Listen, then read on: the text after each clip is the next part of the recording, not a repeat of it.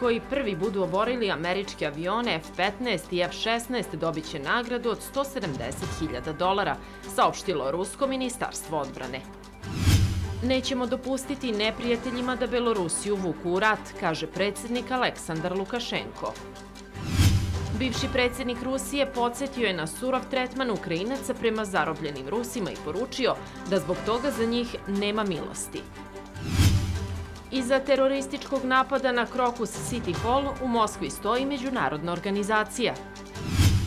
Roberta Mecola, političarka s Malte, ponovo izabrana za predsjednicu Evropskog parlamenta.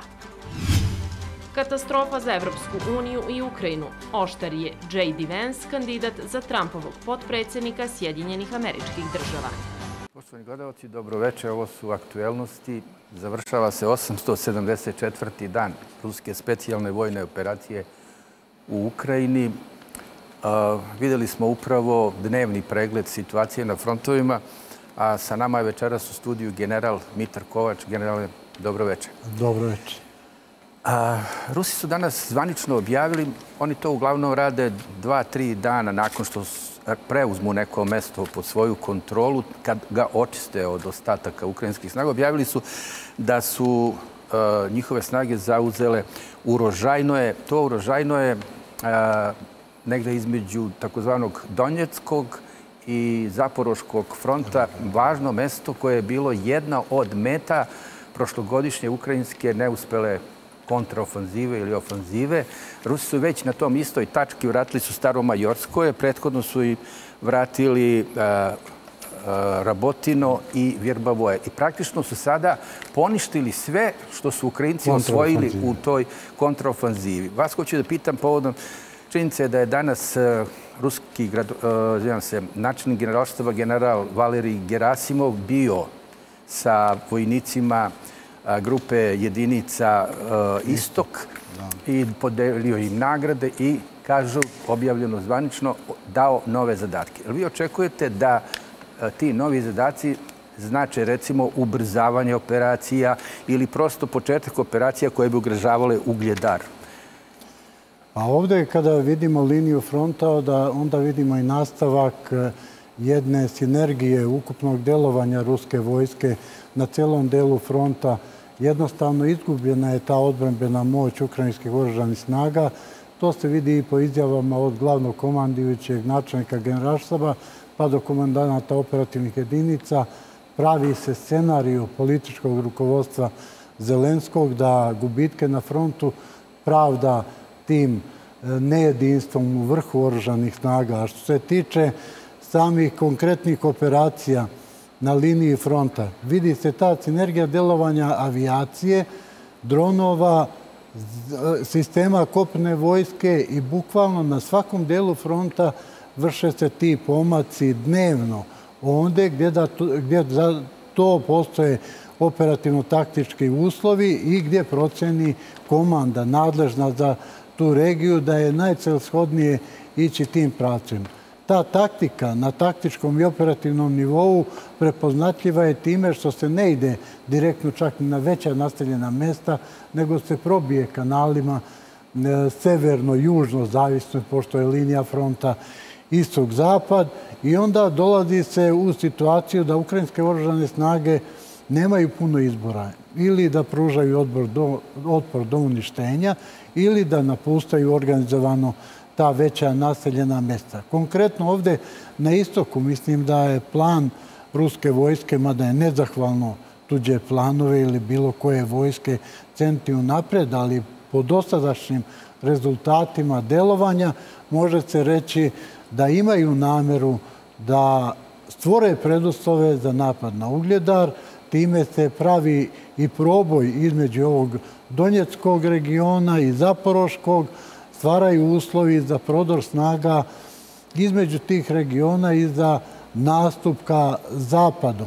Jer vidimo također od severa stvara se ta operativna pozicija da se i sa te strane krene ka Donjeckom regionu. Ovdje kada bi se iskompromitovale ove snage koje brane ostatak Donjecka, da dolaze u poziciju također da se na operativnom nivou zbog gubitaka na delovima fronta moraju povlačiti na zapad.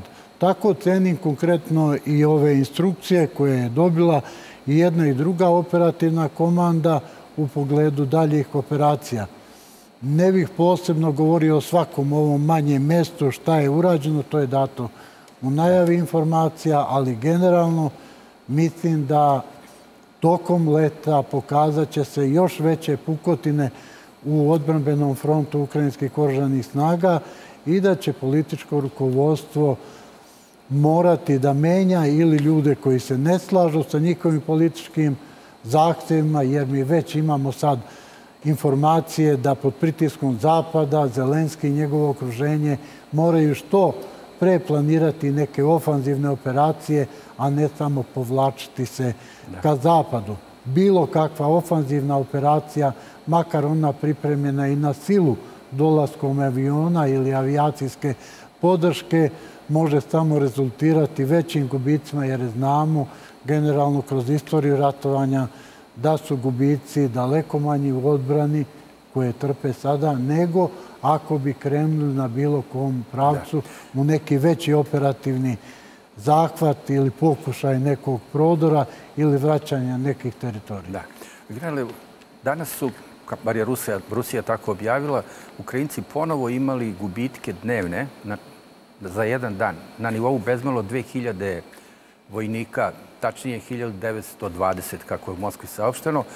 Ti gubici koji sad već konstantno desetak i više dana su tu negde oko 2000 ili čak preko 2000. Sami Ukrajinci, recimo njihov analitičar vojni, neki Konstantin Mašovec, on tvrdi da Ukrajinci sad već sa takvim gubicima neće moći dugo da brane časov jar. 2000 dnevno, to To je u nekom normalnom intenzitetu. Mi nemamo ovdje sad pojačane operacije za zauzimanje nekog većeg grada koje će oni morati upornije da brani. Tad gubici se penju i preko 3000 i to znamo u statistici ovih dejstava i oružanog konflikta u Ukrajini u minulim godinama i mesecima. E, nastupajuće operacije za veća ova naseljena mesta pojačavaće pukotine u ukrajinskoj odbrani. Nemaju oni puno više rezervi da ubacuju, da zatvaraju te breše. Mi vidimo po procenama da od 100 vojnika koje nasilno mobilišu otprilike 10 vojnika ima neku borbenu vrednost. Drugi ljudi ili su fizički ili vojnički nespremni ili godištem nespremni da izvršavaju vojničke zadatke, a oni za sada, nažalost, e, troše i tu energiju ljudi, bez obzira da li su stari, da li su nesposobni, kad su kondicionari, da li su prošli obuku neposredno za borbene operacije, jer proći obuku pojedinca za gađanje određenim ličnim naoružanjem ne znači spremnost jedinice da izvršava zadatke na frontu. Jer nema kolektivne obuke, nego se ti ljudi nakon mobilizacije provuku kroz kratku obuku i šalju u dopunu gubitaka ovih o kojima smo govorili. Te dnevne gubitke na mesečnom nivou, kad uzmemo, to je između 20-30 hiljada, to je teško nadoknaditi mobilizacijom koja bi išla, što kažu, kao poloju, a kamoli mobilizacijom koja se odvija uz masovnu prinudu i hapšenje tih ljudi na različitim javnim mestima, gradova, sela i sl. Generali, hvala vam. Sad pogledajmo prilog u kojem jedan kolumbijski najamnik koji se bori na straju Ukrajine e, svedoči s čim se suočavaju, to je kakva je ruska vojska. E, sa nama su večeras u studiju i novinar Slobodan Reljić, profesor doktor Slobodan Reljić, historiograf profesor dr. Radovan Kalabić. Gospodo, dobro večer, ali pre nego što krenemo, pogledajmo i svedočenje jednog priznanja jednog zarubljenog Ukrajinca. Скикецкий Анатолий Владимирович, 10.03.82 рождения, 24-я отдельная механизованная бригада. Я смотрю, кого сейчас набирают. Вот с нами даже были люди новые, что я их не знаю, вот когда у нас обстрел по нас начался они этого не привыкли, они вообще попадали, позалазили под это, под эти топчаны и тупо вот так лежали. что сейчас набирают всех подряд э, по 58 лет, 59, и люди ходить даже нормально уже не могут, а их воевать, куда воевать. Вот тупо вот берут нас как мясо, вот надо, вот туда кинули, никто тебе ничего не говорит, а просто вот так заслали тебя. И ты, а что хочешь, что делать, тебе автомат дали. Ну, командование, это мне уже второй раз, что меня обманули. Мне ничего не говорят, а тупо вот так кидают. У меня первый раз было э, тоже, нам сказали, вы перейдете на пару дней на позицию какую-то. И мы туда пошли, начался обстрел, минометы. Я Э, ранен был, два осколка выше колена. Я четыре месяца пробыл там по больницам, комиссию проходил вот такое. Я думал, что уже сюда не вернусь.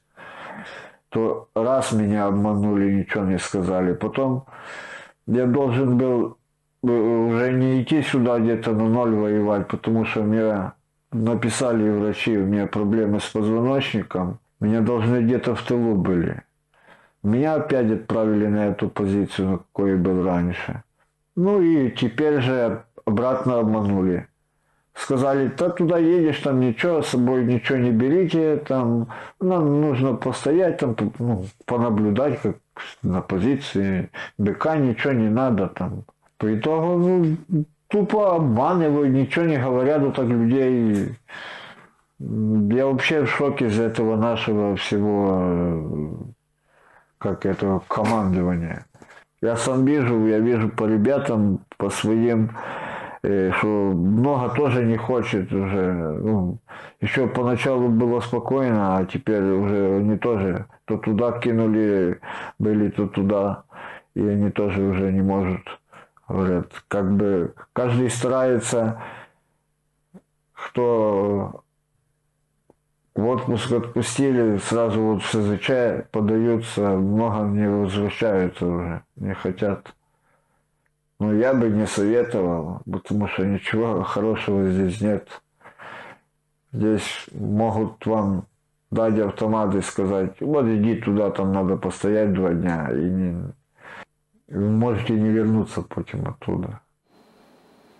А Ređiću, Na ukrajinskoj strani znači ratuje neka internacionala kao neka uslovna legija stranaca, a i ratuju ovakvi ljudi. Evo ovaj kaže, mobilišu nas bez veze, tutnu nam u ruke automate, stojite negde tamo nešto osmatrajte, a ovaj kolumbijac kaže, ne možete da zamislite šta se ovde događa.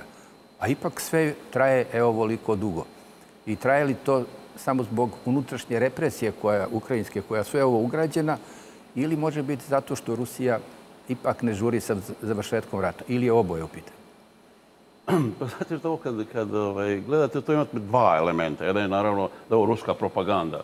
To je jedna propaganda mašinerija koja u stvari pokazuje uh, kako njoj najviše odgovara da izgleda ovaj, ta vojska, da se biraju, to svako zna, biraju se ti prilozi koji u stvari to pokazuju. Međutim, uh, da to nije samo njihova propaganda, to pokazuje što to već možete pročitati u Guardianu, ovakva ovaj, izvođa. Dakle, to je već to je već postaje činjenica. Dakle, nije samo propagandni ovaj, mehanizam, nego postaje činjenica. I to govori manje više, meni su ovako najbolji izbori, izvori za to, to popuštanje zapadnih medija prema tome, pripuštanje te vrste činjenica koje govore o, tom, o to, tim problemima, kako da oni održe tu vojsku u, u tom poredku.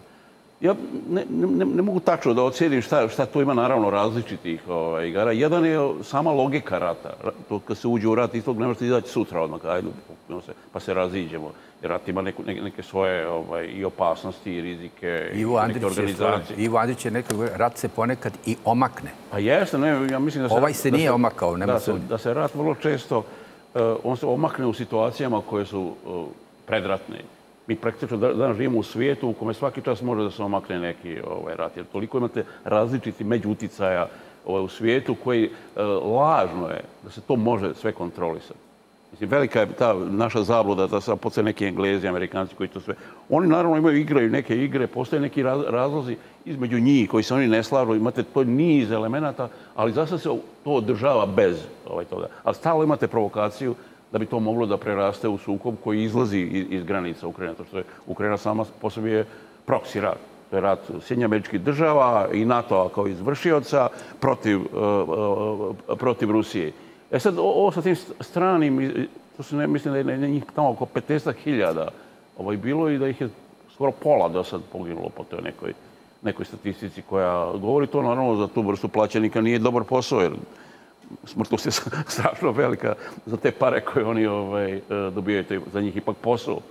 Tako, tako da je ovaj, e, e, ja, ja ne, ne, nisam vojnik i ne znam tačno, ne mogu da, da razadam zašto se to vodi taj rat tom, tom ovaj, brzinom. Međutim, posljedice koje taj rat ima, koje su vanratne, one su po ove koji su pokrenuli praktično taj rat, pre svega po Evropa i Sjedinjene američke države, oni donose mnogo veće da, da, da, gubitke za njih e, nego što je to. Vi imate sad Evropu, to je omiljena bila tema, sjećate kad se to počelo. Evropa nikad nije bila ujedinjenija. Sjećate se ono, da evo Rusiji, sad ćemo mi. Mislite, taj ono šest mjeseci, sad više Evropa nikad nije bila razjedinjenija. Imate sad Viktora Orbana, koji potpuno kako rekao, razumno pokušava da uspostavi neke... Mislim, ja, mislim da Orban iza sebe, Orban nije usamljen igra. Tu postoji, naravno, nije ta Evropa tako mrtva kao što izgleda kad gledate ovu, ovu von der Leyen, e, to je ipak malo složenija struktura. Ali pa on tamo ode i sad jednom se koncentriše čitav napad. Ti, vidim, potpisuju peticiju da se izbaci ova Mađarska iz, iz ne znam čega više tamo. Pa nije to za njih e, tako prosto i naivno? Pa nije, zato što su, veliki je ulog. Pa ne, njemački poznati politikolog Aleksander Rar, on kaže e, Evropska današnja e, unija zajedno sa Amerikom je odlučila da taj rat Rusija ne sme da dobije. I zato idu na sve i ništa. Ići će do kraja. Ali pogledamo sad možda u produžetku jedan kratki... Izvini, ali imate, pa, pazite, to sad već, već to prvo bilo samo po meni je bila ludačka ideja da Ukrajina može da taj dobije rat. Dakle, to je, mislim, ne, ja ne vjerujem da je neko u to vjerovao. Ali Carl Bildt, koji je jedna od brste tih propalih, bivših, velikih ovaj, igrača, on je sad napisao jedan tekst uh, šta kad, ako Rusija dobije taj rat? Dakle, već, već dakle, pomire se sa, sa tom, pa šta da se radi kada Rusija dobije e. Sad mora da se, da se taj front širi. Jedno vreme ste i stalno uložili kako će Ukrajina da pobjedi. Ovaj, ali to su vam, e, Zapad ima te, te gubitke veze sa realnošću. Mi, vi ste sad gledali kad je bio, malo ću izaći pa sad vraćam, kad je bio onaj razgovor uh, Trump-Biden, dakle svako u svijetu pet godina vidi da Biden ne može da sklopi čitavu rečenicu, da obično ne zna gdje se nalazi, da, pa ste sve, da sve jesu. A oni tek posle tog razgovora shvate da on u stvari ovaj, to. Zašto? Zato što to, to je interesna kretanja. Ona nema nikakve veze. Tako, tako i to s Ukrajinom. Pa se oni to guraju, guraju. E sad počinju te ovaj, inicijative Onda će da je car go. Pa šta da Jeste. Mora, ne, sad, neko sad mora da se, to morati sad mora da se nalazi izlaz iz date situacije. Da. Pogledamo jedan e, kratki prilog o jednoj grupi e, Ukrajinaca koja je pokušala da pobegne od rata preko Moldavije. Da. A evo i kako Ukrajinci pokušavaju da pređu granicu i kako to realno izgleda gledano s njihove strane. Кто хочет выехать с Украины, расскажу историю, просто пиздец, что происходит. Короче, пишет мне подписчик, говорит, Дима, привет, расскажи, пожалуйста, своим подписчикам, так как э, я и мои друзья попали на 75 тысяч евро. Я ему говорю, что произошло. Собралось на сайт 15 человек, хотим выехать, э, хотели выехать, вернее, с Украины. Э, нашли человека, человек говорит, перевожу до Румынии, в Румынии оплачивайте. Мы, говорит, встречаемся с ним, он нас доводит ну, встречаемся с ним, типа, возле границы с Румынией, там забирают телефоны, все, говорит, ну, не забирают, выключайте, типа, телефоны, не пользуйтесь ним. И, говорит, мы начинаем идти по лесу. Идем мы где-то, говорит, блин, часа два. Идем, идем, в какой-то момент он начинает наводить жуть и говорит, так, все ложимся, тут, короче, уже граница, ждем маяка от кого, верно? От военных. Говорит, нам э, сказали лечь, там посадочка такая была, мы все легли, э, мохом укрылись, короче, лежим, ждем маяка. Тут сигнал, именно прям сигналит что-то. Говорит, этот э, наш провожающий встает, говорит, все, идем. Мы, говорит, идем, идем, еще, говорит, минут 40-50, говорит, там по полям, по лесам, говорит, по горам. И, говорит, приходим, стоит столбик румынский. И то есть он говорит, все, ребята, вы в Румынии, стоит бетонный старый столбик, разрисованный флаг э, Румынии. Это все, братва, вы в Румынии, давайте бабки, мы, говорит, рассчитались с ним.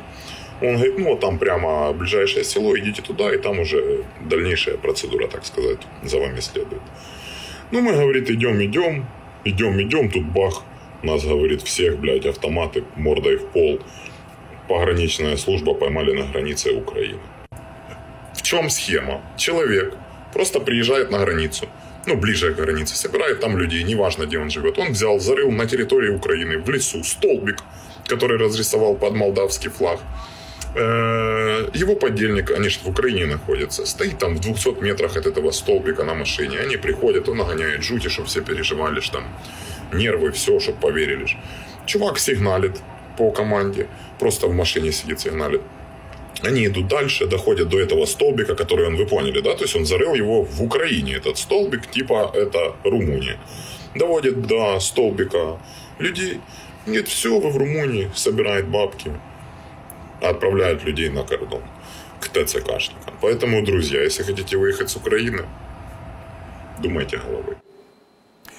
Kalabiću, evo, znači, klasične prevarantske šeme. E, čak je u Ukrajini ovih dana objavljeno da je jedan od poslanika njihovog parlamenta, koji se zove Vrhovna rada, e, imao svoj kanal za prebacivanje ljudi za novac, naravno. To je za njega bio biznis. Da li će ga neko suditi ili neće, ko zna tamo. Sve, sve mutno, ali evo oni imaju i ove koje smo videli na frontu, nevoljnike, a imaju i ove koji beže. Od čega sve beže? Da, sva ova tri priloga, malo pređašnja koje smo videli, sažeo ili sintezu jednu je napravio u njihovom značenju i smislu.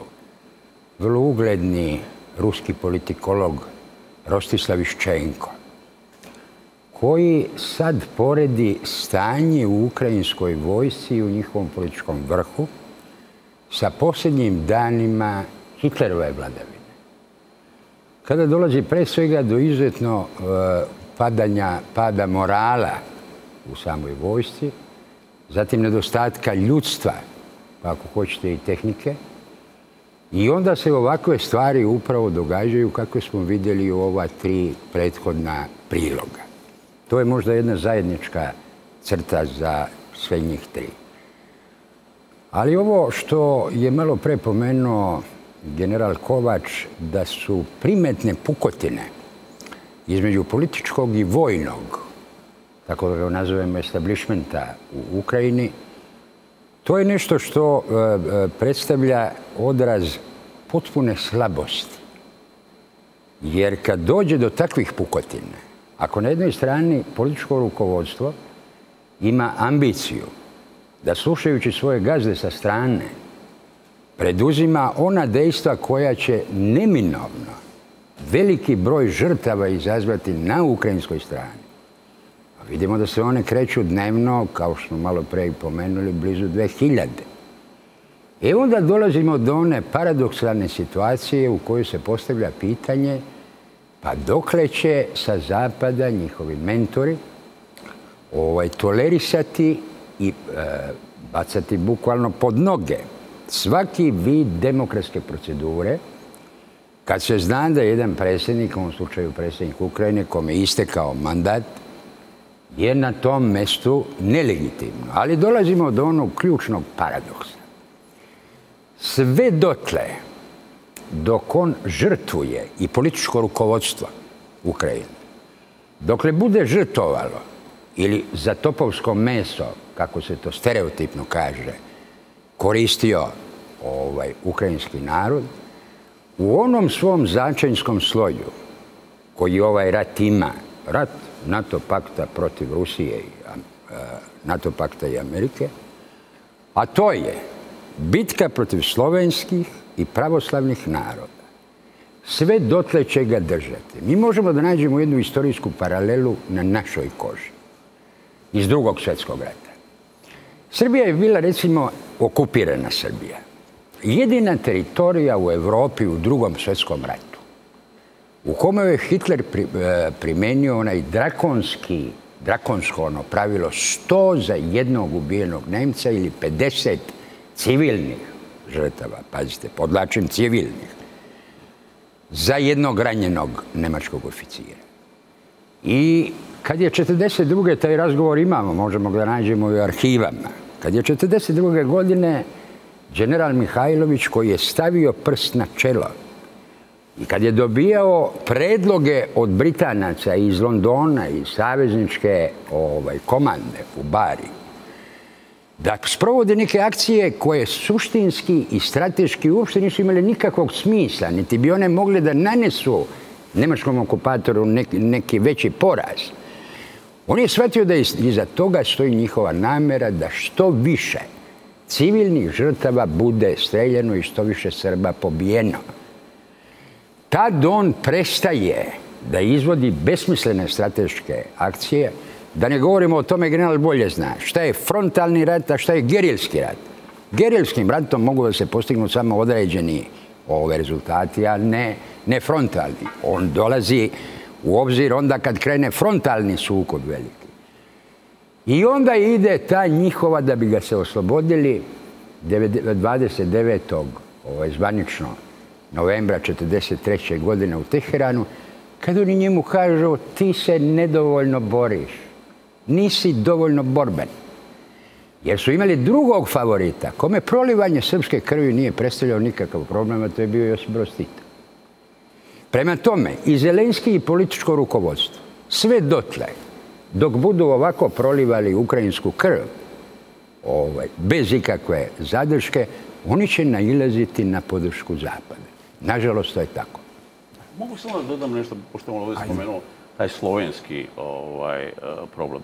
To je uvijek ruska ideja da su oni okupljavaci ovaj, Slovenije. Međutim, eh, Robert Fico, E, to je prvo u Ukrajini, on nije prvi koji je pokrenuo to pitanje e, žrtvovanja Slovena u, u, u ovim ovaj, sukob. Prvo, tri države koje su, su razbili posle ovoga pada Berlinskog zida su tri slovenske države. Jugoslavija, Češka i, i Sovjetski savez.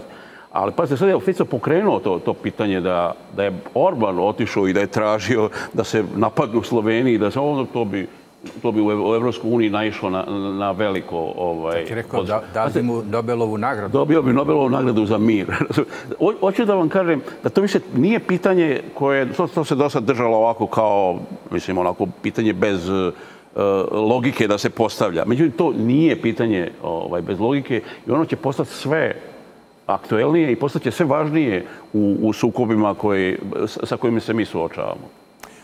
Da. Imamo sada prilog koji uh, upozorava, Ukrajinci to u osnovi već znaju i imaju te probleme, da Ukrajinu čekaju veliki, dugi nestanci struje, pored svega ostalog. Nestanak boraca za front, nestanak hrane, nestanak struje, ne rade uređaj za hlađenje, zamrzivači, a zima će biti neuporedivo gora.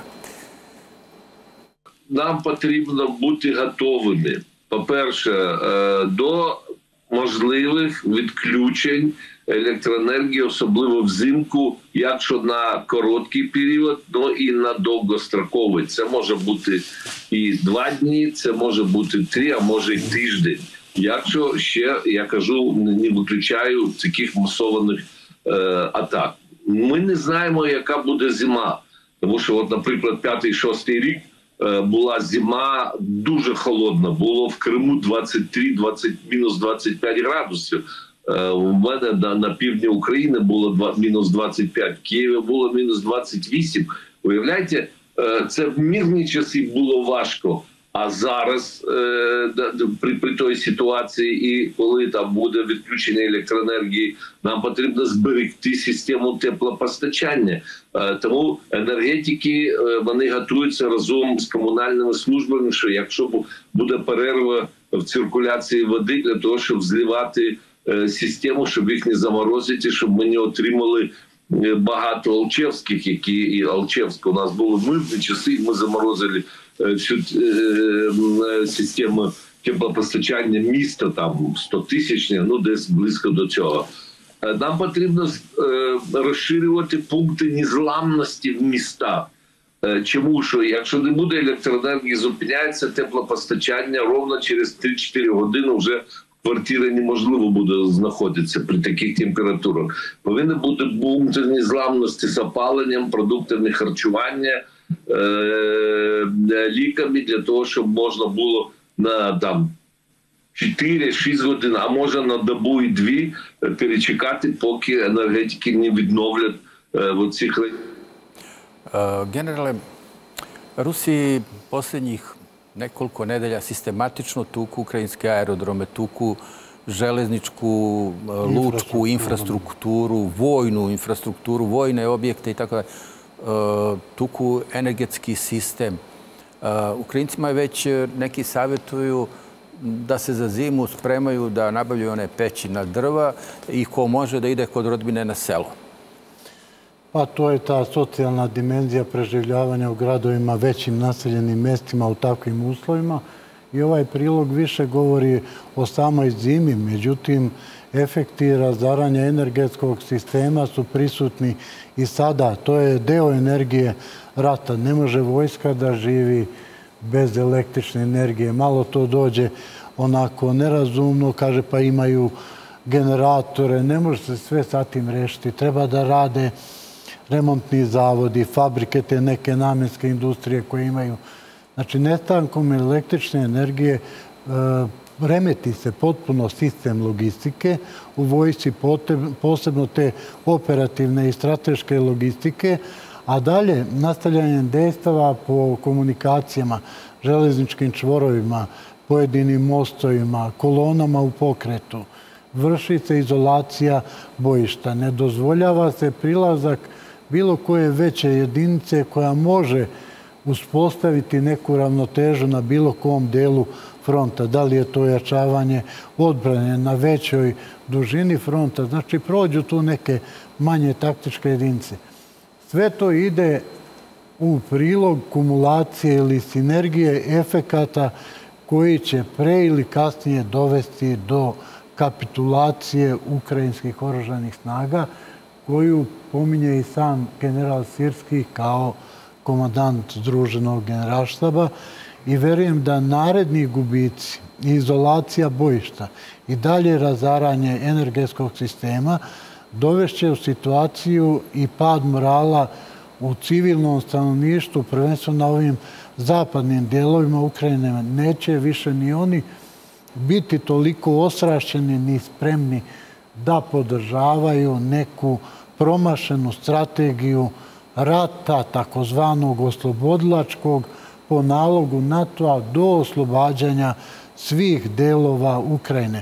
To je nešto što, nažalost, NATO nije izbacio iz dokumenta na ovom samitu, a onda naredbodavno to je preneto na političku garnituru Zelenskog i njegovog okruženja, a u drugom smislu to ne može više da podrži vojni sastav ukrajinskih oružanih snaga kakav jeste danas, a svaki naredni dan ide u prilog tome da će ta vojska biti u sve gorem moralnom i materijalnom pogledu spremna da izvršava naloge političkog rukovodstva.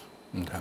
Ukrajincima se sigurno neće svideti ni to što je generalni sekretar NATO Jens Stoltenberg rekao da Poljska, iako su napravili takav sporazum sa Kijevom iz Varšave, nema pravo da stavlja pod svoj PVO kišobran deo teritorije Ukrajine da obara ruske rakete i avione.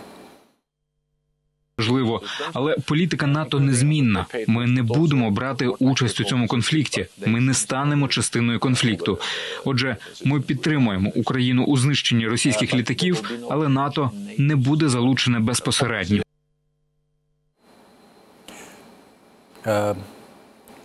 Američki pukovnik, bivši savjetnik šefa Pentagona Douglas McGregor je ocenio da se Ukrajina već polako pretvara u zgarište, a da nešto nimalo dobro čeka i Evropu. I served at a pretty high level in NATO. I was fortunate to work for some really wonderful people who were the equivalent to four stars in the British and German armies. I still am reasonably well collected or connected. And what I can say is that behind the scenes, people are extremely uncomfortable. They don't like any of it. And if you look at the opinion polls in Europe, they have turned decisively against a confrontation with Russia even Schultz, who is another lackey for uh, Washington, has stated publicly that under no circumstances will any German soldiers or any German in uniform go to uh, Ukraine. Uh, even in Poland, where there was initial enthusiasm for this crazy crusade against Russia, people have now stepped back and said, no, we, we really don't want to end up a smoking ruin like Ukraine. And I think that's the bottom line. If look at look at what's happened in Ukraine, multiply it by uh, a hundred times, and that could be Eastern Europe in a very short period of time. And the question is why? What for? What are we what are we trying to achieve? And all this business about democracy versus fascism or communism is nonsense. If there is a fascist or communist right now in, in Eastern Europe, his name is Zelensky. And we know that because we know what his secret police does. We know what his state is up to. We know what he's done to churches. And we have an appreciation for the rampant organized crime in Ukraine, which is just shameless. The, the human trafficking, the disappearance of tens of thousands of children and women into the underworld where they're exploited and ultimately killed. This is what we're propping up. People know that. It can't go on. Uh, uh, uh, State Department je praktično istovremeno sa ovim Stoltenbergom saopštio da Sjedine države ne dozvoljavaju Ukrajincima da američkim raketama gađaju ruske lansirne rampe na teritoriji Rusije. To je dodatno ograničenje. Ali da li, zapravo, pitanje, s obzirom na sve ovo i s obzirom da je Orban koji je bio kod Trumpa, a da je Trump nominovan za predsjednika države i da ima sad povećane šanse posle pokušaja atentata da postane predsjednik Amerike, eh, Orban je dakle najavio da će Trump, ako bude izabran, ne čekajući inauguraciju, krenuti u mirovnu misiju povodom Ukrajine. Da li to vama onda miriše na ubrzavanje operacija do američkih izbora? Jer Rusima, bar da ne uzmu ove teritorije svojih sadašnjih e, republika i dveju oblasti koje Ukrajina kontroliše, ne odgovara da se uđe u pregovore pre toga. Pa dobro, pregovor uvijek diktira onaj koji bolje stoji na frontu. Vi onda možete birati trenutak kad ćete da prekinete ta, ta dejstva, kad, kad ćete da, e, da učestvujete. S tim što Pazite, to se, ako gledate razvojno, to, e, te stvari idu vrlo povoljno e, ovaj, za Rusiju. Ovaj sad što je bio taj summit, taj 75. godišnjica u, u Vašingtonu, ako ste čitali ozbiljnije tekstove, ne one propagandne, ne, nema ni jedan tekst, o, ni jednog ozbiljnog autora, koji su naravno pronatovski.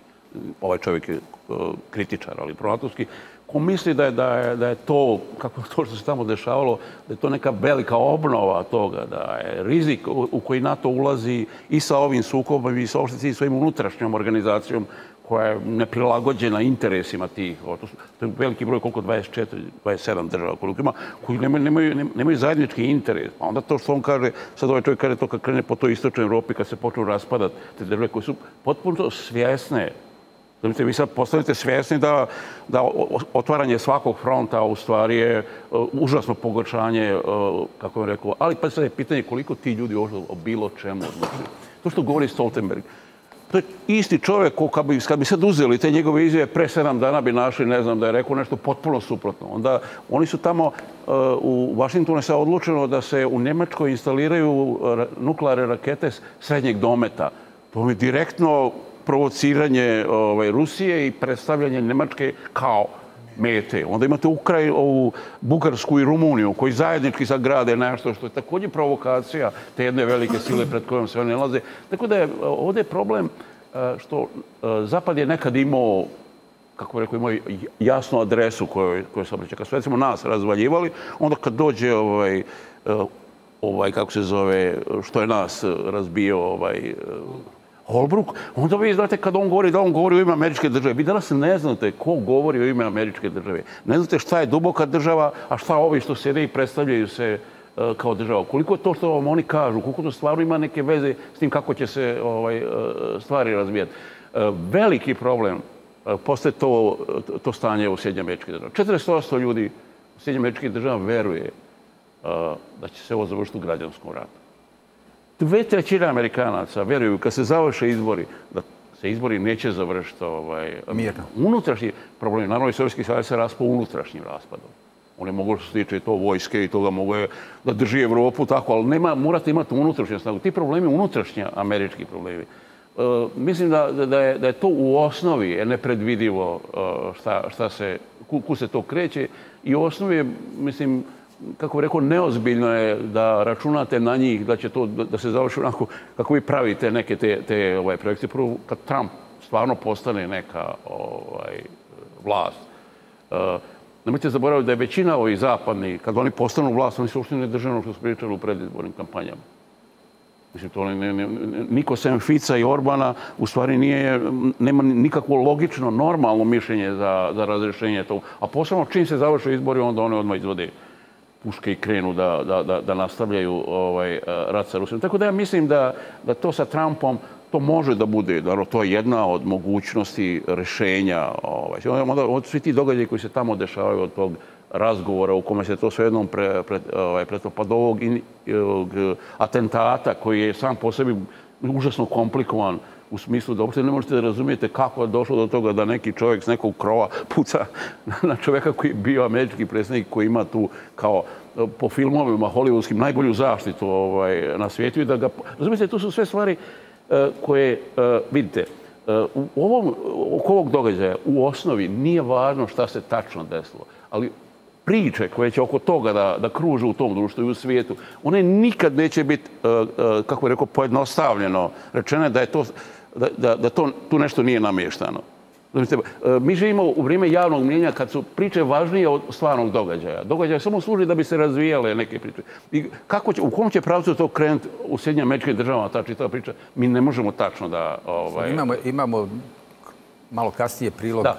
koji će biti povod ne, ali hoću da kažem posljedice po Ukrajinu, to ko, mislim, ovo što je Putin ponudio njima, ovaj, to, to je također ponuđeno sa potpuno jasnom jasnim razumijevanjem da on na to neće pristati. Naravno, za resta šest mjeseci vjerojatno bi se to rado ovaj, sjetili, ali e, mislim da, da, da, da su to e, veliki igrači. S drugu stranu, na istoku imate potpuno jasne strukture. Vi kad kažete Rusija, znate Putin. Kad kažete Indija, vidite Modija. Kad kažete Kina, vidite Sija. Vi tako znate s kim treba da razgovarate da bi rešavali te velike ovaj, e, svjetske probleme i oni su svi imaju kako imaju snagu da mogu to, to rešavaju. E, problem je Zapada što Evropa nije nikakav učesnik u tome, što NATO je upotrebno sredstvo ovaj, Vašingtona i Pentagona, ali ne znate če, koga tačno, koji dio koga, koga tamo sluša i čemu, čemu to služi. I u tom smislu to je praktično, vrlo teško je praviti bilo kakve projekcije. Ovaj. Pritom, ne, ne mislim da je samo za mene teško praviti. Mislim da je za i ljude koji su u igri Razumite, za, da ne govorimo za Bajdena, njemu nije teško, on, on to zna. Ali za recimo pravog američkog predsjednika, to je vrlo teško da vi sad pravite te neke... Šta ćete možete da uradite kad ne date, šta možete da uradite u sobstvenoj državi? Da. Na zapadu i u Sjedinim državama a, niko ne govori povodom Ukrajine. A nije trebalo tamo da izvodimo državni udar. Nije trebalo dozvolimo da Ukrajina ratuje protiv dela svoje teritorije i naroda misleći na Donbas. Nije trebalo da izigravamo dva minska sporta i tako dalje ima onih i jedan od njih je John Bolton, koji je bio i Trumpov savjetnik za nacionalnu bezbednost, koji ma svega ovoga ne bi bilo da smo Ukrajinu onda kad smo mogli primili u NATO. I think the main thing is to remember the historical mistake that was made when George W. Bush proposed bringing Ukraine and Georgia into NATO on a fast track in 2008. And key allies, Germany and France, objected. I think if Ukraine had come into NATO then, we wouldn't have seen the 2014 invasion. We wouldn't have seen the 2022 invasion. I think that's proven by the decisions of Finland and Sweden after all these years to join NATO because they finally concluded that the only safe defense was behind the NATO border. Zelenski je, kao i svi u Kijevu, bio apsolutno i sada je za Trumpov, ovaj, izvinjam se, Bidenov ostanak na vlasti, ali evo ga, vidjet ćete kakvi, sa kakvim izgledom lica i kakvim glasom govori da se on ne boji nijako Trump dođe.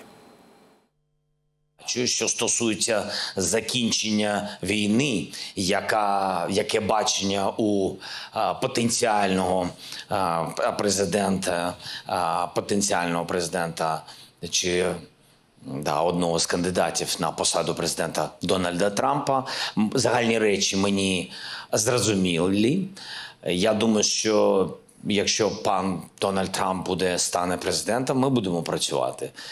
Я цього не боюсь. Україна просто ми в війні, ми емоційні, і коли є невизначеність, а дійсно республіканська партія вона е, різна. Є такі яструби, які, які меседжі, яких вони більш ну такі праві або більш радикальні, напевне. Але хочу вам сказати, більшість республіканської партії підтримує Україну і народ України. Vojnici koji prvi budu oborili američke avione F-15 i F-16 dobit će nagradu od 170.000 dolara, saopštilo Rusko ministarstvo odbrane. Nećemo dopustiti neprijateljima da Belorusiju vuku u rat, kaže predsjednik Aleksandar Lukašenko. Bivši predsjednik Rusije podsjetio je na surov tretman Ukrajinaca prema zarobljenim Rusima i poručio da zbog toga za njih nema milosti. Iza terorističkog napada na Krokus City Hall u Moskvi stoji međunarodna organizacija. Roberta Mecola, političarka s Malte, ponovo izabrana za predsjednicu Evropskog parlamenta. Katastrofa za Evropsku uniju i Ukrajinu. Oštar je J.D. Vance, kandidat za Trumpovog potpredsjednika Sjedinjenih američkih država. Gospodine Kalaviću, šta kažete, a i šta kažete imajući u vidu da je e, Robert Fico i danas ponovo rekao ko hoće Ukrajinu u NATO paktu, taj Eh, ugrožava svetski mir.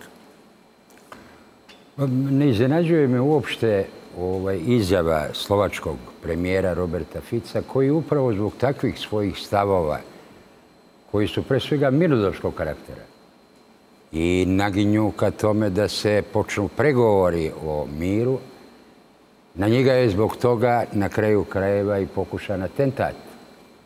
Ili bolje reći što u posljednje vreme, ako se podvuče jedna crta sa tim pokušajima političkih ubistava ili atentata, on je također izveden, pokušan da izvede, da bude izveden na streljanje. E, ako gledamo sa stanovišta ovo što ste vi vrlo aktuelnu temu ovaj, postavili, a to je kakav će odraz biti i te kako se strepi od ovih ovaj, rezultata izbora predsjedničkih u Americi, za koje ne znamo ni da li će se do kraja održati ili ne, ali po onome što vidimo kako su pozicionirane dve strane i po putu koji je Viktor Orban, mađarski premijer, imao, prvo dakle Kijev, Moskva, Peking, pa Sjedinjene američke države, kod Trumpa, baš kod Trumpa, I ako pogledamo istorijat političkih atentata i ubistava predsjednika Sjedinjih američkih država, vidjet ćemo da postoji jedna zajednička crta od ubistva Abrahama Lincolna, zatim pokušaja atentata na Andrew Jacksona, pa sve do ubistva Johna Kennedy. Koje su to zajedničke niti i vidjet ćemo da je ovo sa Trumpom motivacija sasvim drugačija i bez presedana u dugoj istoriji ubistava američkih predsjednika. I Abraham Lincoln, da vas podsjetim, on je ubijen 1865. godine, ali je tražio da Amerikanci kontrolišu emisiju valute da to bude njihova nacionalna valuta pod kontrolom države u emisiji države, a ne 13 porodica da to bude federalne rezerve kao privatna ova, jedna banka na čijem čelu će stajati Rothschildova nadimperija. To je bio jedan od ključnih razloga zašto je on ubijen. Na Andrew Jacksona također je pokušano ubistvo upravo zbog toga što je to tražio. A listi razloga zbog kojih je uklonjen Kennedy, osim ovog razloga koji je konstantan, dodati i razlog što se on protivio nuklearnom naoružavanju Izraela. On je bio protiv toga da Izrael dobije nuklearno naoružanje. Sad kad vidimo pokušaj ovog izvođenja, jer i ovo je svojevrsno izvođenje na streljanje, pokušaj, molim vas, ako vi dopustite da vam na krov izađe, kako oni kažu, mada do sad nisu ni utvrdili identitet njegov do kraja. Jedan 20-godišnjak koji je, pazite sad, fenomen, bio izbačen, odnosno nije primljen u streljačku sekciju školsku, zato što je bio loš strelac, ali on uspe da se popne na krov zgrade na stotinjak 200 metara preko puta predsjednika Trumpa, dok su u toj zgradi tim snajperista policijskih, pazite, u istoj zgradi gde je on na krovu, i da vam slučajni prolaznici upućuju policajce na to da im pokazuju gde je. Ali da vidimo mi sad suštinu. Suština je u sljedećem. On to nije mogao da uradi bez nekog iznutra. I to se ne radi. To nije nikakav slučaj sumanutog pojedinca kome je došlo da se ili proslavi ili da se osveti nekome. Ali je suština u sljedećem. Sama najava Trumpova da će prekinuti rat u Ukrajini, odnosno doprineti prekidu rata u Ukrajini. To je za globalističke strukture najveći mogući poraz. Jer je za njih rat nasušna potreba. I mi sad vidimo ovde, uzmite, povežite slučaj Roberta Fica, pokušaj atentate na njega, pokušaj atentata na predsjedničkog kandidata Trumpa, niz drugih, vidjet ćete kogod je za mirovnu opciju i za neku nezavisnu državnu politiku. Taj postaje meta za političku i fizičku likvidaciju. Da. Bio je u američkoj istoriji, ubijen je čovjek koji se zvao Hugh Long, ubijen je 1935. godine jer je hteo socijalizam u Americi. I kad je poveo za sobom preko milion ljudi, bio je brutalno kao pas, eh, da kažemo, ubijen. Ali pogledajmo sada, pošto ste otvorili temu, gospodine Kalabiću, ovoga što se događalo kad je pucan na Trumpa, eh, mnogi kažu da je Joe Biden eh, jedan od glavnih krivaca što je došlo do tog pokušaja atentata i traže da čak i jedan od američkih kongresmena traži da se protiv njega otvori realna istraga, se podigne optužnica protiv Bajdena za huškanje na ubistvo Trumpa. I evo sad u sljedećem prilogu Bajdena pitaju tim povodom. Da li on to stvarno radio, vidjet ćete, on kaže da nije huškao, nego da je govorio treba se fokusirati na Trumpa, a ne ići na pretvaranje Trumpa u metu. You called your opponent an existential threat uh, on a call a week ago. You said it's time to put Trump in the bullseye. there's some dispute about the, the context, but I think you appreciate the I didn't say crosshairs. I was talking about focus on. Look, the truth of the matter was, what I guess I was talking about at the time was there was very little focus on Trump's uh, agenda. Yeah, the term is bullseye. It was, a, it was a mistake to use the word. I didn't. I didn't say crosshairs. I meant bullseye. I meant focus on him. Focus on what he's doing. Bivši američki kongresmen i bivši snajperista Cory Mills tvrdi da je ovo što izgleda kao propusti u funkcionisanju tajne službe koja je brinula o mitingu Donalda Trumpa, da je to zapravo bilo namerno. Bring in Florida congressman and former U.S. Army sniper Corey Mills. What kind of shot was this, Corey, from 130 yards? Look, at the end of the day, this is a shot that your basic training boot camp soldier is requested to make within their nine week period. This is one of the easiest shots, and they train all the way out till 300 or 500. And when I was doing the counter sniper, it wasn't with the United States Army. It was actually when I was with the State Department and was doing this exact thing, which is trying to look at going out with an advanced team, establishing what the perimeter is, and then as a sniper, when you would set up, you'd put together your range sketch or your range fan cards, and that would tell you where your 100, your 200, your 300 300 and you'd identify the areas of threat that you would be able to mitigate. And if there's multiple targets, you understand that your elevation and windage knob wouldn't have to be messed with, especially at 160 yards. You could literally just look quickly, glance, and know from the reference point whether it be a building, whether it be a lone tree, whether it be a parking lot, maybe it's a road. Bottom line is, is that this is massive negligence to the point of me speculating on what was intentional and what wasn't. Gospodine Kovač, čovjek koga je Donald Trump već predložio za podpredsjednika Amerike, ako on bude izabran, David James Vance. On je senator iz države Ohio.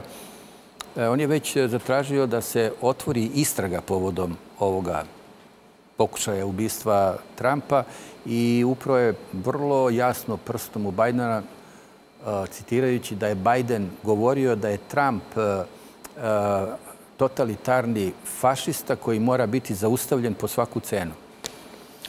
Pa možemo slobodno reći da i za ovoga stoji politička pozadina, bez obzira što mnogi analitičari uzdržavaju se da izvode takve zaključke, ali generalno pripisivati ovo jednom čoveku, mladom pojedincu, koji nema logističku podršku, koji nema svoje obezbeđenje u čitavom procesu pripreme i izvršenja atentata je neozbiljno.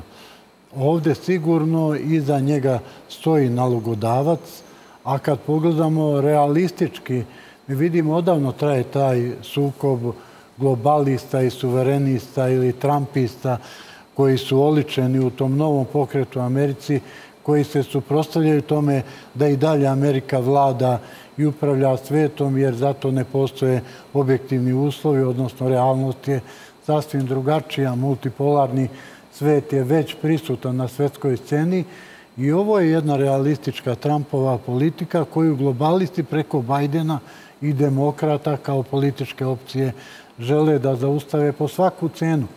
Pa u mnogim listovima i stranim i kod nas u analizama oko te političke borbe izborne godine govorilo se o takvom nečemu da je duboka država, da su globalisti spremni da se late i ovakvog nekog čina ubijstva jednog kandidata koji je dobijao sve veću popularnost. Mi smo pre ovoga imali pokušaje političke diskreditacije, pa onda pravne diskreditacije, pozdujzanja niza optužbi. Kada i to nije vodilo nekom rezultatu udaljavanja Trumpa iz eh, političke borbe konkurencije, nažalost, neko je doneo odluku da se uradi ovako nešto.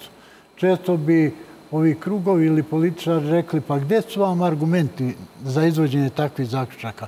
Pa evo, upravo ovakvi smo argumenti koje sam prethodno pokušao da navedem. Što se tiče specijalne operacije, izvršenja ovog terorističkog čina, pa ne može niko iznijeti takve argumente. Ko je pomogao ovom mladom čoveku da dođe sa oružjem upravo u zgradi gdje se nalaze snajperisti, kako je mogao da uđe na javni skup sa oružjem. Nije to pištolj nego, to je puška. I kako je mogao da bazira u zgradi gdje imaju unutrašnju kontrolu snajperisti koji obezbeđuju skup. Dakle, ovdje je postojala ozbiljna logistika nekih elemenata globalističke države, odnosno elemenata koji žele da vide Trumpa mimo političke utakmice za predsjedničku dužnost. Čovjek koji se zove Dallas Aleksander, koji je bio glavni čovjek u obezbeđenju više poznatih svetskih e, ličnosti, između ostalog premijera Kanade, on tvrdi da je apsolutno jasno da je neko navodio s polja ovoga kruksa koji je, koji je formalno pucao i on ukazuje da su snajperisti iz tajne službe koja je obezbeđivala skupa, ona inače obezbeđuje sve američke lidere, da su tri puta registrovali tog čoveka sa snajperskom puškom, da ga je čak jedan snajperista snimio i također ukazuje na mogućnost da je moguće da je pucao još neko. Da nije pucao samo taj. Jer kaže da je ubijen e, šef vatrogasne službe države Pensilvanije koji se pre skupa legitimisao kao vatreni tam Trumpov pristalica, slikao se i baš je on ubijen. Ovdje će sigurno vremenom isplivati pojedni podaci, pitanje da li će i kada se sklopiti taj mozaik e, čitavog scenarija, ali generalno sve više će se odustajati od ovih olakih ocena, pa i samog Bajdena, da se radi o jednom čoveku koji je to tako nepromišljeno učinio nešto i da treba ići ka nekom pomirenju i traženja pobednika u političkim sredstvima. Tako da upravo i takvi zaključci govore o tome da nije ovo slučajnost, da je ovo ipak nečija namjera i strategija da se dođe do rezultata izvesne pobede demokrata na neki ovakav način. Ako mogu da Da kažem, ako malo posmatramo Ameriku ovaj, u poslednjih... Bodane, ako je... Ne, ne, direktno je vezano za atentat. A za ovo, ajde. Vidite, mislim sam inače... Ja mislim da se nikad ovde neće doći do bilo kakvog rezultata ko je zašta tu odgovoran. Sjednje američke države su prisustovale direktnom televizijskom prenosu ubijstva svog predsjednika Johna Kennedy-a, pucano, ubijen čovjek. I pazite, samo šta je razlika? Tada je taj koji je pucao preživio. Sada u posljednjih 20 godina niko ne preživljava. Kad imate te masovne pucnjave, očigledno postoji neka instrukcija ovaj policiji da taj ne preživi i ovaj dečko ne znam šta, šta god da je on radio on se više on se Osvaldo onda moralo ubijati tako što je došao onaj kriminalac pa ga isto pred te, pa ga isto pred televizijskim kamerama ovaj ubio. Mislim da Amerikanci imaju razrađe. Ovo sve ove sve priče koje oni sad lansiraju, one samo vode tome da nikad nećeš doći do toga šta je bilo i za mjesec dana više i kad bi ti neko došao i ispričao pravu priču, ona više ne može da postoji zato što je to sve toliko razgrađeno. Pa i ovo... to, je, pazite, to je jedna od najvećih ta, to je ta operacija ovih, kako se zove, teorija zavere. To CIA smatra jedno od svojih najvećih ovaj, dostignuća. To je, dakle, poništavanje svakog događaja u mnoštvu. Čini, tu se pojavaju razne knjige gdje će ovaj pričati. Po ovom dečku, sad jednom se pojavio neko kao nije 60 metara. Razumite, to su stvari koje se očigledno na licu mjesta. To je društvo. Prvo, ima to se izmišlja. Drugo, to je društvo gdje to izmišljanje skreće na vas pažnju, pa sad jedno vas zovu na NBC vi ste išli s njim u školu da pričate kako on nije bio primljen u to. Razumite, to je društvo koje je samo po sebi, e, e, ono ima tu sposobnost, da se je to sposobnost, vi kažete imate izmišljenu stvarnost i stvarnost i onda ste vi dosta bili sposobni da izmišljena stvarnost bude to u šta e, u šta ste vjerovali vi, a onda ste i po svijetu nagonili razne narode da vjeruju da je to istina. Međutim, oni se sad, oni se sad suočavaju sa, ovaj, sa realnošću, zato što to više, ja mislim da, da je to sve teže održavati, te, te kako reku, tu, tu vrstu. Pa imate sad, od tih razni optužbi, jedna vrlo zanimljiva je ta o tom MK ultra programu za kontrolu ljudskog mozga. To ona DARPA ovaj, plaća i zna se da, da, da to, to, to je dugogodišnji projekat u kome vi možete da uvedete čoveka u stanje u kome se, on se navodi eh, tim ovaj, eh, sredstvima i da, da, da se dovede i da puca da u stvari ne zna da je to izvršio. To se vrlo često priča iz ove, u tim masovnim ovim, ovaj, pucnjama. To je postao masovno pucnjama u Americi je svakodnevica. To, to je strašno razvijena stvar. To smo se mi zaprepasili kad se to kod nas desili. Tako da, ja, ja mislim, ovo što se tamo dešava, to će e, to, to, to će najverovatnije po zbiru tih e, činjenica dovesti do, do, ovaj, do, do neke Trumpove ovaj, pobjede. Najvjerojatnije što uopšte nije sigurno, odmah da vam kažem. Ti neki zaokrete su vrlo mogući u kome to sve može da se pretvori u, u neku drugu ovaj, igru. Ali u ovom trenutku to ide ka tome da će on najvjerojatnije postane predsjednik, ali će njegove uh, mogućnosti učešćem u ovakav, ovakvom događaju, one se već ograničavaju. Da. Uh, Donald Trump je na izbornom kongresu Republikanske partije u Milvokiju dobio konačno nominaciju za predsjednika Amerike na izborima koji bi trebalo da budu održani 5. novembra ove godine. Trump je, kao što sam već rekao i kao što se zna, kao što je objavljeno, Vensa već praktično proglasio za potpredsjednika Amerike ako on bude izabran za predsjednika. Vence ima samo 39 godina bio je marinac u Iračkom ratu u Iraku, potom je e, završio studije na prestižnom univerzitetu, e, objavio knjigu memoara koja je od današnjeg dana na ovoj elektronskoj prodavnici Amazona sa 220. mesta skočila na prvo. Everybody knows, everybody with a brain in their head, Jake, knows that this was always going to end in negotiation. The idea that Ukraine was going to throw Russia back to the 1991 borders was preposterous. Nobody actually believed it. Ukraine is functionally destroyed as a country. The average age of a soldier in the Ukrainian army right now is 43. What's in America's best interest is to accept Ukraine is going to have to cede some territory to the Russians, and we need to bring this war to a close. Right. We need to bring the killing to a stop, and that's what American leadership should be doing, not writing more blank checks to the Gospodine Kalaviću, Vens je pre Trumpove nominacije već stigao da kaže da ga ne zanima šta će biti sa Ukrajinom, da on misli da Amerika ne treba da ratuje, niti on lično, da se nosi sa Vladimirom Putinom i da Zapad nikad kolektivno neće biti u stanju da proizvede dovoljno oružja da bi Ukrajina pobedila. Šta to znači za nastavak rata u Ukrajini i uopšte za dalja događanja?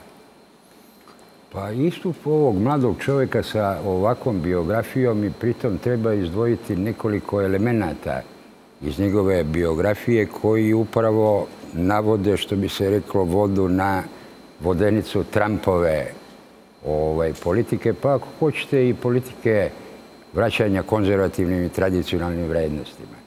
Znate, on je prvo oženjen. I to nije lažno. Oženjen nije muškarcem oženjen. Nije muškarcem, oženjen je jednom indikom. Drugo, on je veliki pobornik ovaj, borbe protiv abortusa, ovaj, koja također predstavlja jednu od tačaka diferencijalnih u ovom opredeljivanju biračkog tela i tako dalje i tako dalje, ali suština ovog svega je da je on na toj mirnodopskoj liniji i pokušaju da se rat u Ukrajini što pre zaustavi. Ako nikako drugačije, napominjući do koje mere je srozana i survana i uništena ukrajinska strana. Tako da mislim da je izbor e, Trumpov za potpredsjednika ovog čovjeka, Vensa, mislim da se tako zove, jedan od najlogičnijih. Ali ako mi dozvolite vrlo bitnu stvar na ovo što je Sloba malo pre govorio oko atentata, da se u Americi nikad ne otkrije istraga, nikad ne dođe do istine.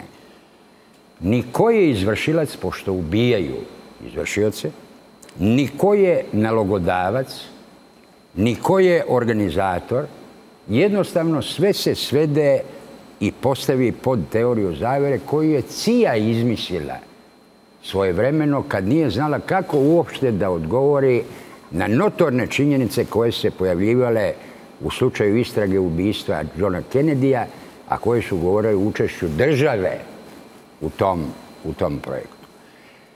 To vam između ostalog pokazuje da Amerika, to će zvučati paradoksalno, oni nemaju državni suverenitet. O tome se radi. Samo države koje imaju državni suverenitet, poput Rusije, evo da ću vam primjer. Teroristički napad u Kroku City Hall. Da li su otkriveni svi napadači? Da li je otkrivena ukrajinska veza?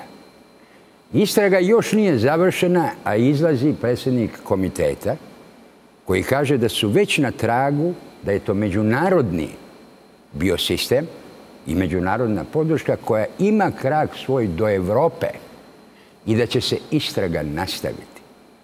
Dakle, razumem... Oni se hapsaju živi. Molim? Oni se hapsaju živi. Hapse se živi, naravno, pa nisu njima e, razbijene glave da ne mogu identitet da im, da im utvrde. A istraga se, dakle, još nastavlja. I taj krak koji vodi prema, kako je saopšteno zvanično, prema Evropi, i taj krak će biti identifikovan. Dakle, Ono što mi često, mislim da, da površno, ako, ako ne i pogrešno, smatramo za američki hegemonizam i borba Trumpova, da ne gajimo mi nikakvu iluziju, pobjeda Trumpova neće predstavljati neku, neki veliki pomak na bolje prema politici Srbije. Ta njihova spoljna politika manje više ostaje ista. Biće korektiva. Jer šta Trump traži? E, Zašto on kaže u predizbornom e, svom sloganu Amerika Amerikancima? Pa da moramo pitamo, čekaj, pa kome je do sad pripadala Amerika? Čija je bila do sad, ako treba da je vrati Amerikancima? Znači, bila je u nečim tuđim rukama. On traži izvesan stepen e, retatizacije da Americi da veći kapacitet državni, suveren, od onog koji ona danas ima. A stvar je prilika da nema nikakav. I ovim ću da završim. Čak i ako on preživi, daj Bože da preživi, do izbora, nemojte misliti da je ovo posljednja prilika njegovo uklanjanje da do izbora tamo i ne dođe. Jer ja ću vas posjetiti jedan zakon koji je donet u Sjednjim američkim državama neposledno posle 11. septembra 2001. To je onaj zakon, kako glasio, zakon o spremnosti države za borbu protiv terorizma usvojen je u kongresu tako što je skoro 90% teksta koji je čitan zatamljen. I glasali su na osnovu 10% ono što su mogli da čuju kongresmeni. Ali što on podrazumeva? U slučaju nekog terorističkog napada koji također može biti izveden pod lažnom zastavom, onda se uvodi varedno ili ratno stanje u kome nikakvih predsjedničkih izbora neće ni biti. Da. Tako da kažem, navodim samo koje su sve još peripetije i mogućnosti do, do novembra dve, ove, ove godine. Da. E, gospodine Kovač, e, Ruska novinska agencija RIA Novosti, e, to jest iz pera njenog, vjerojatno najvažnijeg političkog komentatora Petra Kopova, objavila je da je puška ovog momka koji je pucao Kruksa, E, visila na zidu američke drame pre nego što je pucao u ovom gradu Butleru u Pensilvaniji, ali da na istom tom zidu američke drame, kako on kaže, visi mnogo ozbiljnija i opasnija puška koja će biti mnogo profesionalnije upotrebljena. Znači, on praktično predviđa drugi pokušaj ubistva Trumpa. Mislim da globalisti nisu odustali sa svojom namerom da isceniraju različite vrste rešenja koje će sprečiti Trumpa da dođe na vlast. Učinit će mnogo još toga. Ozbiljni analitičari iz oblasti bezbednosti izvode zaključke slično kao kolega Kalabić da nije sa ovim prestala duboka država da izvodi svoj uticaj na izborni proces u Americi. Šta će sve biti preduzeto još nezahvalno je govoriti, ali sigurno je da postoji još dosta scenarija. Da li je samo tu u pitanju i fizičko uništenje ili neki drugi scenariji napadi na članove njegove porodice koji bi ga e, moralno srozali da uopšte se bavi politikom i da nastavi dalje u ovom izbornom procesu ili neki drugi morbidni scenariji koje ne može čovjek ni zamisliti. Pa i ovo je do neki dan bilo nezamislivo za običnog čoveka i Amerikanca. I u moralnom smislu sigurno će to preobratiti javnost američku da će Trump imati svakim danom sve veću podršku. To je jasno i demokratama, to je jasno i globalistima. Da li će oni prihvatiti to kao realnost i shvatiti da je njegova pobjeda neminovna ili će preduzeti još neke korake неког софтифицирание оружја и неког извршиот са друге врсте, са бесплотним летлицама или нечим другим, тоа е нешто, нажалост, што моречемо да очекуваме во наредно периоду. Ми видимо, нису ни те беспилотни летлице са тако безопасни. Ови нови модели иду и до 400 км на сат.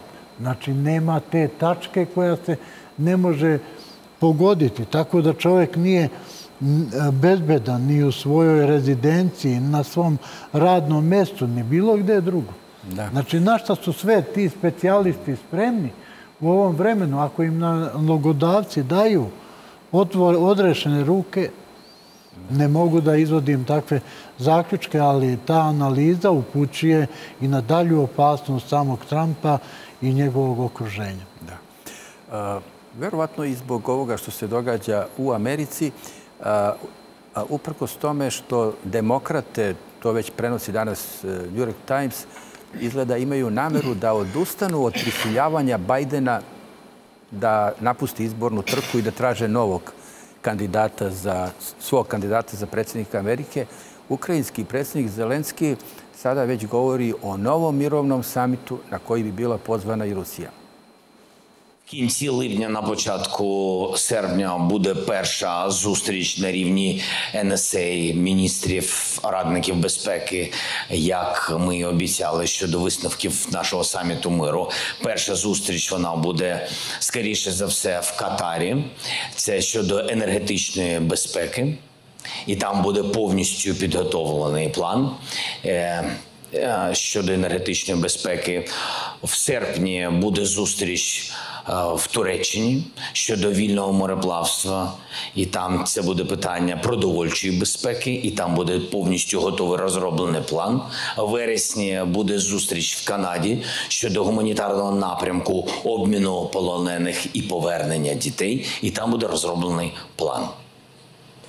Я вважаю, що як ми йшли за таким планом, ми будемо продовжувати йти. Після цих трьох пунктів, якщо вони спрацюють, буде готовий повністю план всіх пунктів, реалізації всіх пунктів. І я ставив завдання, щоб в листопаді у нас був повністю готовий план. Отже, і саміт, напевно, ну тобто, план буде готовий для саміту другого. Буде все готове. Якщо ці три пункти ми реалізуємо, і якщо буде готовий повністю план з нашого боку, з боку партнерів, я вважаю, все буде зроблено. Вважаю, що для цього.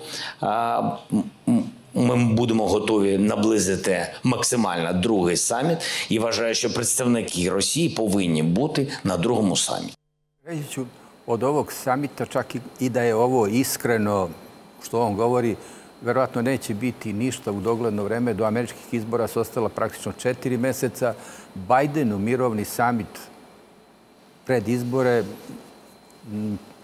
sa Rusijom verovatno ne odgovara, to bi za njega bio poluporaz, za ovog Zelenskog bi također bio.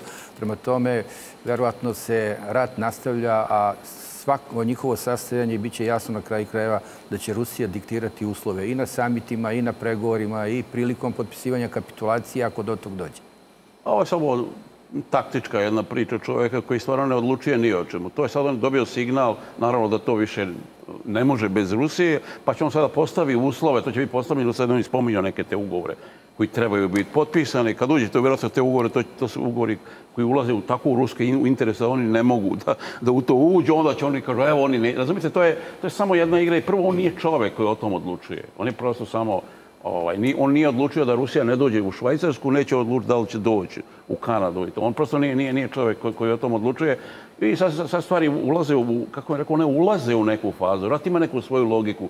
Posle treće godine zamore se strane. Ima, ima, oni, ima oni tu logiku i tu, tu, se, tu će se mora tražiti, ovaj, na, nalazit će se neko rješenje. Ali kažem vam, u ratu uvijek kako će izgledati pregovori, o čemu će se pregovarati, kad će početi, šta će biti polazne tačke, odlučuje onaj ko stvari reši ovaj, na frontu i ko naravno u međunarodnim odnosima stoji odlično. Putin je sad svojim modijem u stvari oglasio da nema nikakve te njegove izolacije, sem što ne može da u Berlin i tako, u te gradove u, koji, koji, u koje on valjda ne bi, ne bi ovaj, ni išao. Tako da e, e, sve ta promjena situacije, onda njemu neko došapne ko, ko upravlja tim njegovim mozgom, kaže ajde daj vidi ovo, pre nego što zbrišeš u, u Izrael sa svojom ženom, vidi da, da održiš neke ovaj, pregovore. Ali mi, mislim da prosto njega ne treba uzimati ovaj, ne, ne treba ga uzimati kao neki jasan signal nečega. To što Najmanje priča. On će za sredina vjerojatno priča da Rusija nikad neće s njima pregovarati. Prosto nije čovjek koji, on o tom odlučuje, on je samo izvršilac američkih tih interesa na, ovaj, na terenu i zadužen je do posljednje Ukrajinca da gura taj RDR. Da. Sergije Lavrova uzimaju ozbiljno čak i u Vašingtonu u ovoj sadašnjoj rusko-američkoj konfrontaciji, a on je boravi u Njujorku gdje je rekao da u rješavanju problema Ukrajine Rusija je spremna da uzme u obzir balans interesa, ne razjašnjavajući o čemu se tačno radi.